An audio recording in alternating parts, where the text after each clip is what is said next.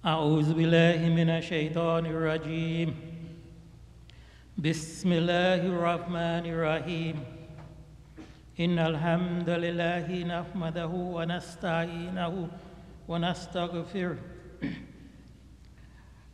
ونعوذ بالله من شرور أنفسنا ومن سيئات أعمالنا. من يهده الله فلا مضل له ومن يضلل فلا هادي الله وأشهد أن لا إله إلا الله وحده لا شريك له وأشهد أن محمدا عبده ورسوله. يا أيها الذين آمنوا اتقوا الله حق تقاته ولا تموتن إلا وأنتم مسلمون. صدق الله العظيم. I seek refuge with Allah. From Satan be rejected. In the name of Allah, who is most gracious, most merciful. Alhamdulillah, once again we thank Allah subhanahu wa ta'ala for sparing our lives and giving us the health and guidance of coming out and offering our Jummah Salah. Alhamdulillah, for today's khutbah, the topic will be bidding farewell to the past year and welcoming the new year.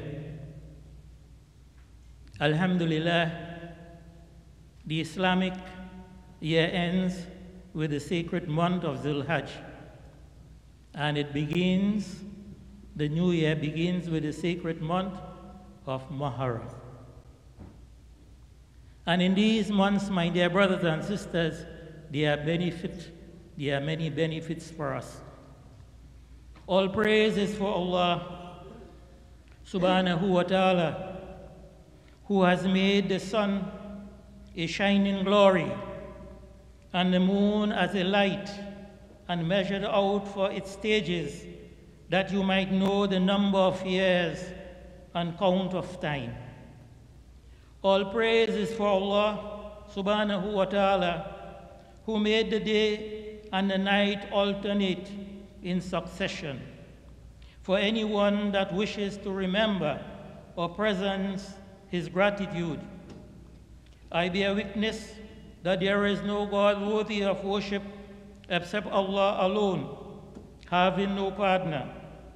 To him belongs the dominion of the universe for him was the beginning, and to him will be the end and return. I bear witness that Muhammad, upon whom be peace, is his servant and messenger, who was the best of men to worship Allah subhanahu wa ta'ala and to surrender to him. May the peace and blessings of Allah Almighty be upon him, his family, his companions, and upon anyone that follows in their footsteps until the day of recompense. O servants of Allah, fear Allah and contemplate these days and nights, for, for they are but phases of time that you pass through to the life of the hereafter until you reach your final destination. Every passing day draws you closer to the hereafter and away from this life. He who, he who takes advantage of the opportunities of these days and nights available by doing what gets him closer to Almighty Allah, and he will be successful. Blessed is he who is preoccupied in these days obeying Almighty Allah and avoiding sins. Blessed is he who learns from their lessons and the changes that occurs on their passage. Blessed is he who realizes the effects of Almighty Allah in causing the alternation of life and what they entails of wisdom and secret. Allah subhanahu wa ta'ala tells us in the Holy Quran, أعوذ بالله من الشيطان الرجيم يقلب الله الليل والنهار إن في ذلك لإبرة لأولي الأبصار The meaning of which Allah causes the night and the day to succeed each other. That is, if the day is gone, the night comes. And if the night is gone, the day comes, and so on. Truly, in this is indeed a lesson for those who have insight. Quran chapter 24, ayah 44. My dear brothers and sisters, have you not observed the sun every morning in the east and setting every evening in the west? Have you not contemplated this phenomena? How the days are fluctuating between sunrise and sunset and end when everything vanishes. Have you not noticed the phases of the moon throughout the month. The moon first appears at the beginning of the lunar month as a tiny crescent, and it starts growing like bodies do until it reaches a stage in which it becomes a full moon. Then it starts shrinking and diminishing. Likewise is the human life. So be admonished, so be admonished for you if you have reasoning. Have you not witnessed these years, renewing year after year? Once a new year starts, man would perceive the end of the year as being far away. Then the days proceeded rapidly, one after another, until the year ends as quickly as a blink of the eye. Likewise, one may perceive the human life as long, whereas in reality it passes very quickly, and death comes and overtakes the soul by surprise. Again, Allah subhanahu wa ta'ala reminds us in the Quran, أعوذ بالله من الشيطان الرجيم وجاءت سكرة سكرة العاتي بالحق ذلك ما كنت من تهيد and the scepter of death will come in truth. This is what you have been avoiding. Man would perhaps hope for a long life and comfort himself with such hopes. But the reality is different when these hopes mean nothing, and what man has based on them will be, will be destroyed. My dear brothers and sisters, in these days you are bidding farewell to a year that has passed and is kept as a witness of everything you have done you are also receiving a new year. If only I could know what you have deposited in this last year and how you may receive this new year. For this, one should hold himself accountable for everything he has done and thus inspect his actions. If he finds that he has neglected his duties he shall have to repent to Almighty Allah subhanahu wa ta'ala and make amends. But if he finds that he has been a sinner and that he has wronged himself, he must stop sinning and violating the prohibitions immediately before his set term is due, or then it will be too late.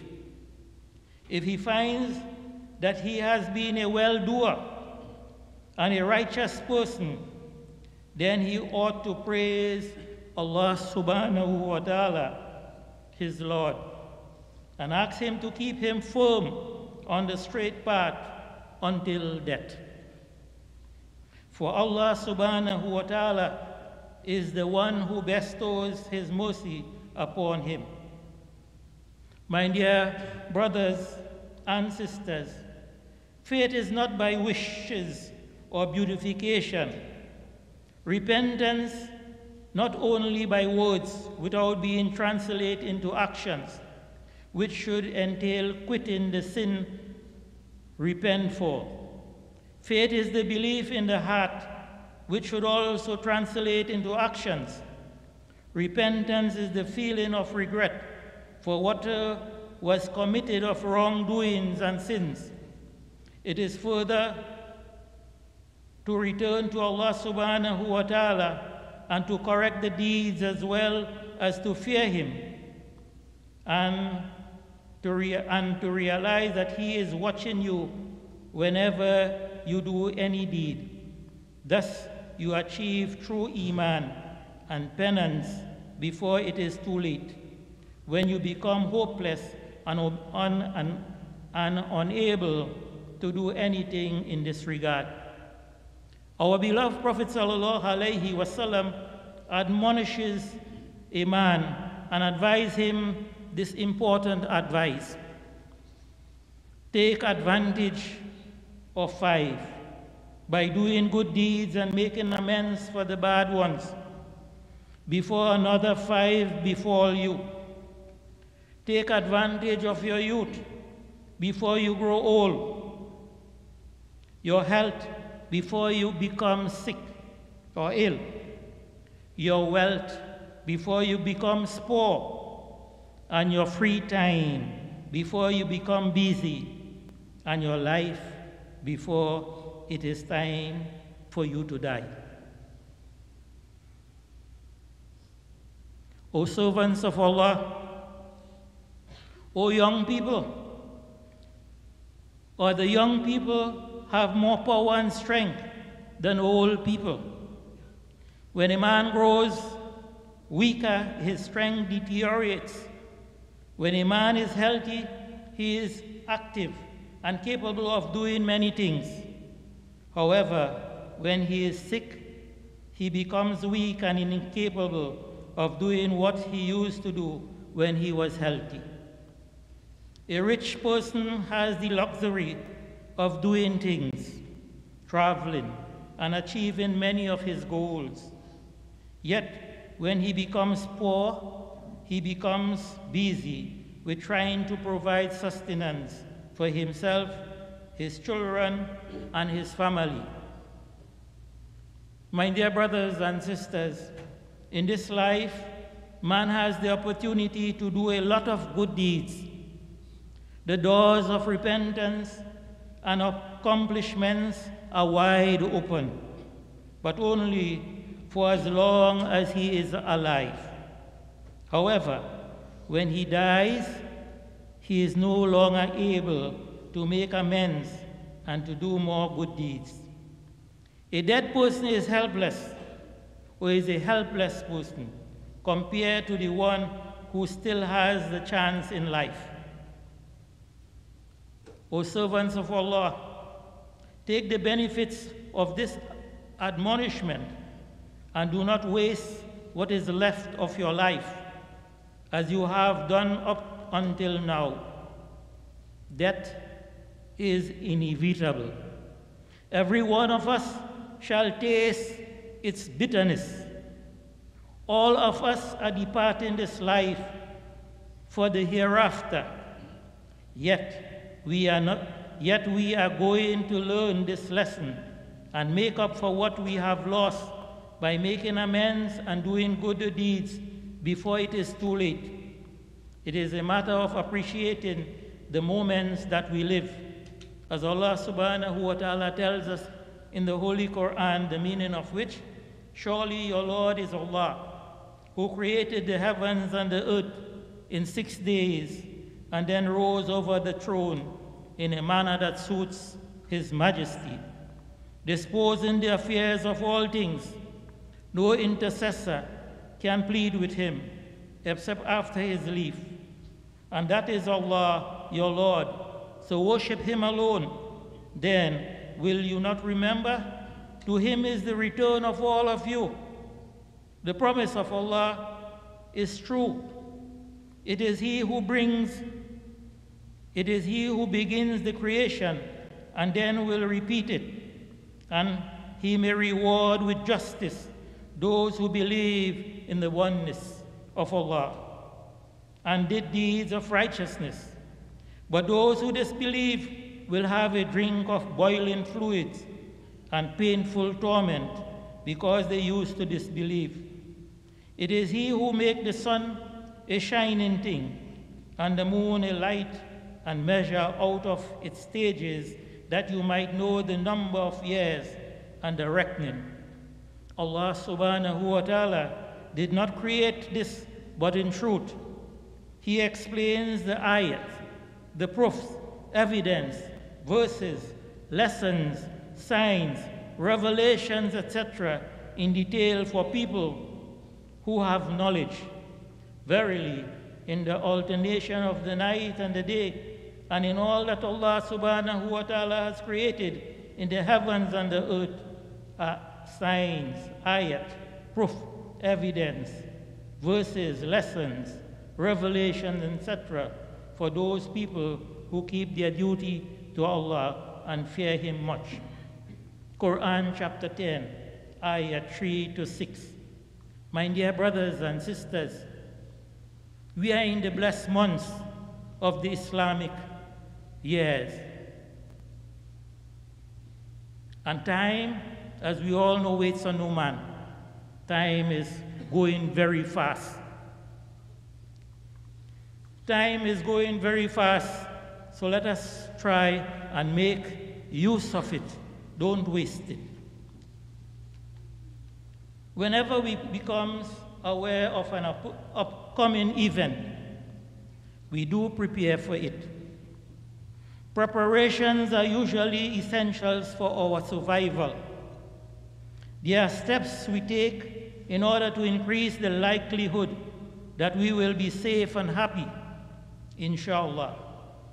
Preparations become more urgent as the event come closer and more certain. There are two urgent upcoming events that are much certain they are bigger than any event we can imagine. They are death and the day of judgment. They are death and the day of judgment. These are absolutely certain events in our current and afterlives. As we know, my dear brothers and sisters, this life is just temporary. We live 30, 40 years. Some of us live 70 and more. But in the end, we have to return to Allah subhanahu wa ta'ala.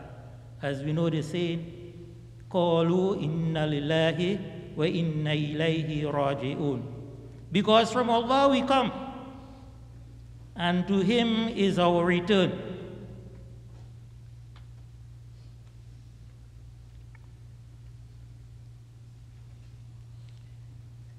Allah subhanahu wa ta'ala reminds us in Quran. أعوذ بالله من الشيطان الرجيم وإذا وقعت الواقية ليس لوقتها كاذبة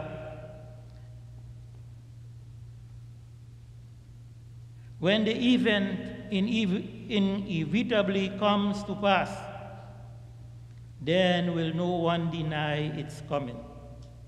Again, this is from Quran chapter 56, ayats 1 and 2. My dear brothers and sisters, the calamity for that day is far greater than the effects of the storm or war or whatever calamities that happens on the earth. Consequently, our preparations must be much greater. The preparation do not entail stocking up of food or wealth, rather to prepare for death and the day of judgment. We must obey Allah subhanahu wa ta'ala, follow the sunnah of our beloved Prophet Muhammad sallallahu alayhi wasallam, and stock up heavily on good deeds. We try to gain the mercy of Allah subhanahu wa ta'ala by obeying Him. Death and the day of judgment are certain. We will not be able to rally or to rely on relatives and friends for survival. Each one of us will be judged by our preparations. How well we fear will be dependent upon our actions throughout our life by the mercy of Allah subhanahu wa ta'ala. The day ever approaching draws near None besides Allah subhanahu wa ta'ala can disclose it. Do you then wonder at this recital and you laugh and wept not, wasting your lifetime in pastime and amusement? Anas radiallahu narrates that a man asked the Messenger of Allah sallallahu alayhi wasallam, when will be the hour the Messenger of Allah sallallahu alayhi wasallam said, What have you prepared for it? The man said, Nothing, except I love Allah and His apostle. The apostle of Allah sallallahu alayhi wasallam replied, You will be with those you love.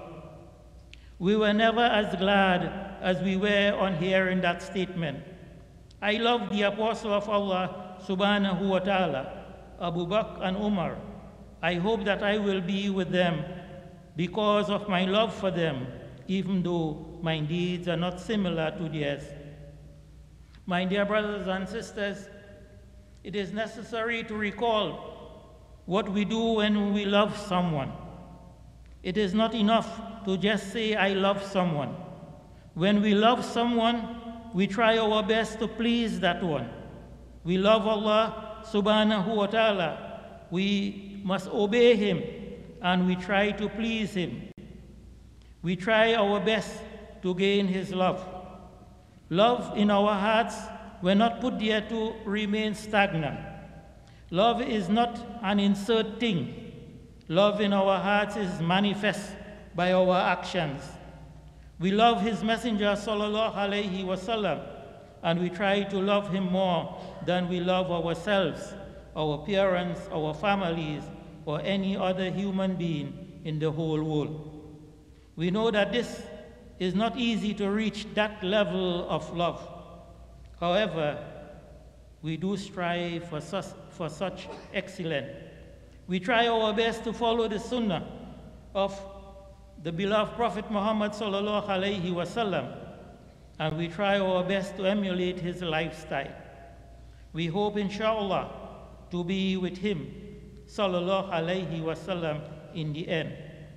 We pray for good, we pray for this goal for all of us. We pray for ourselves, and we pray for you, and we pray for our brothers and sisters the world over. We appeal to Allah subhanahu wa ta'ala to cause such blessed occasions to return to the Islamic world with happiness, victory, and success. May Allah subhanahu wa ta'ala raise high the banner of Islam and guide Muslims to that which He pleases. May Allah subhanahu wa ta'ala have mercy on our sick and may Allah subhanahu wa ta'ala have mercy on our dead ones. May Allah subhanahu wa ta'ala have mercy on our parents who are alive and who have passed away.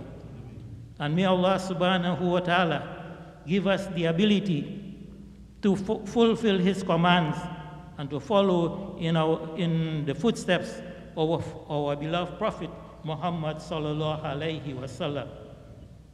ربنا آتنا في الدنيا حسنة وفي الآخرة حسنة وقنا عذاب النار سبحان ربك رب العزة عما يصفون وسلام على المرسلين والحمد لله رب العالمين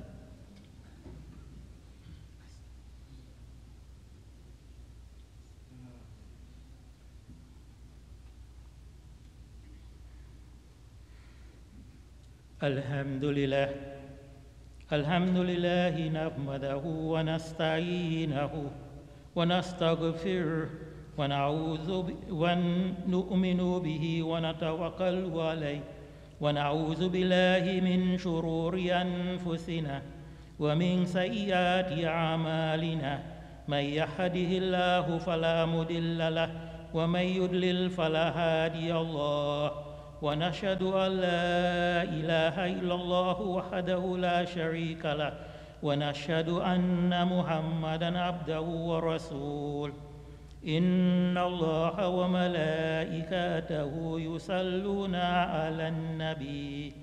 يا أيها الذين آمنوا صلوا عليه وسلموا تسليما. اللهم صل على محمد وعلى آل محمد بعدد من صلى وصام اللهم صل على محمد وعلى آل محمد بعدد من قاد وقام وصل على جميع الأنبياء والمرسلين وعلى كل ملائكة المقربين وعلى عباد الله الصالحين برحمتك يا أرحم الراحمين عباد الله إن الله يأمر بالعدل والإيثار وإيتاء ذي القربى وينهى عن الفحشاء والمنكر والبغي يعظكم لعلكم تذكرون ولذكر الله تعالى أولى وأولى وأعز وأجل وأتم وأهم وأكبر أقم الصلاة